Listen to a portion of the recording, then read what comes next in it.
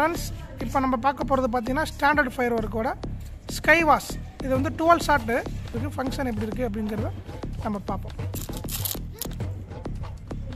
unbox பண்ணியாச்சு friends இப்போ இது பார்த்தீங்கன்னா இப்படி தான் இருக்குது டுவெல் ஷாட்டு